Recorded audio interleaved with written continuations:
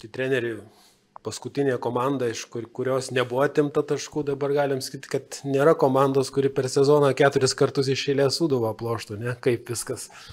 Taip, iš tikrųjų labai labai džiaugiuosi tuo, sakau, kaip ir rūbiniai minėjau, labai uh, didžiuojasi vaikinam.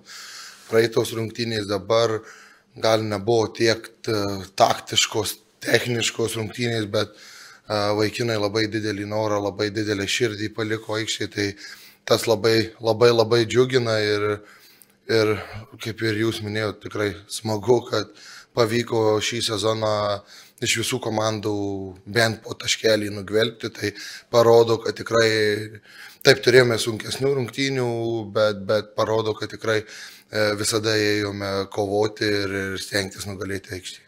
Rungtynių pradžioje atrodė, kad šiauliai jau spaudžia, lipa, kuria kažką smūgiuoja, kaip viską pavyko gal pakeisti, kodėl pasikeitė žaidimas kelnių įpusėjus maždaug. Nes ties 30 minutę suprato žaidimo planą vaikinai.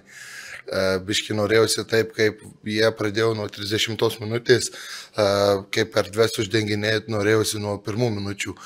Taip šiauliai faktas, kad jie turi labai sunku dabar tvarkaraštį ir, ir, ir kad jie norėjo greito įvarčio ir lipo, kad tą pavyktų, nes, nu, būkim teisingi, įvertino galimai, kad, kad gali antram kelinį truputį pri, pristikti jėgų, tai truputį norėjosi tos kokybės nuo 30 minutės, nuo pirmos minutės gaila, kad nuo 30, bet Po to nuo 30 tikrai vaikinai labai džiaugiausi, kaip, kaip vykdė tuos visus susitarimus mūsų bendrus.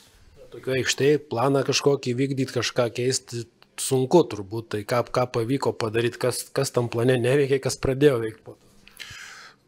Pradėjau, nu, kaip ir sakiau, labiau pradėjom uždenginėti tas erdves, kur, kur galimai jie, kaip sakyt, atakuos mus per jas tai pradėjom truputį kompaktiškiau persistumdyti, tai vienas iš pagrindinių tai buvo, kaip sakyti, aspektų, dėl ko, dėl ko pradėjom lengviau kvėpuoti, o nu, mes turim tikrai, jaučiu visi lygoje žino, kad mes turim tikrai labai greitus prieki žaidėjus kovojančius ir labai greitus, tai nu, tas ir buvo, kad, kad, kad greitos kontratakos, tai čia nepaslaptis visi metai jau taip per pertrauką kažką keitėt, pasakėt komandų žaidėjim, ar buvo nuojauta, kad galim šiandien, nes po pirmo kelnio kaip ir tas žaidimas pasikeitė į teigiamą pusę, buvo kažkoks jausmas? Buvo, buvo jau, kaip sakyti, suplanuota keitimai ir, ir, ir, ir ką persistatyti, bet sakau, po to paskutinės pirmo kelnio 15 minučių, kai vaikinai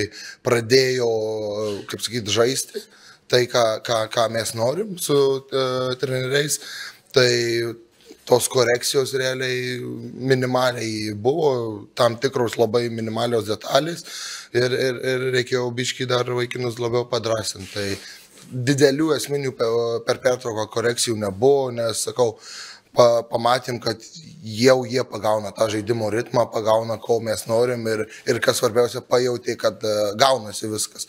Tai čia buvo labai labai svarbus dalykas ir po to jau reikėjo tik juos pastumti ir padrasinti ir, ir tas puikiai gavosi. Antram kilnį teko atlikti keitimą, iš žaidė trim vidurio gynėjais, išėjo vidurio saugas, kaip tai, nežinau, ta būtinybė atlikti keitimą, keitė planus tokia?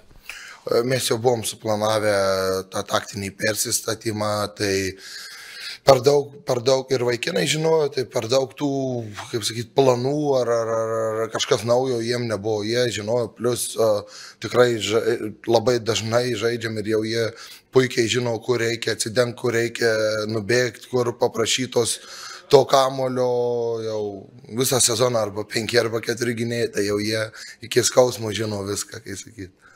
Pastarąjį kartą Sudovos treneris gavo geriausio trenerio apdovanojimą mėnesio, liūdnai baigėsi jums sėkmingai. Kaip tas apdovanojimas, smagu šiandien bus kažkas pažymėtas dar, kur ras vietą namie. Vai, tai kur, kur nors, kur žmona leis.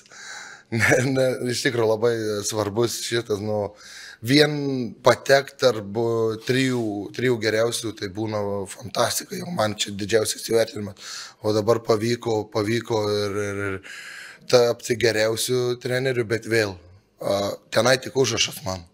Nu, aš be savo personalo, aš be savo žaidėjų, be administracijos, nu, aš, aš tik 10 procentų.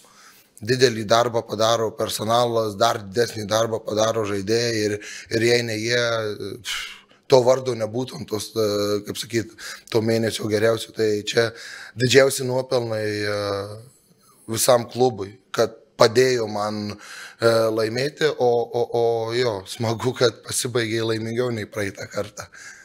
Į sezono pabaigos liko dviejas rungtynės, dabar Sudova pakilo į šeštąją vietą, kaip tik gargardase su banga.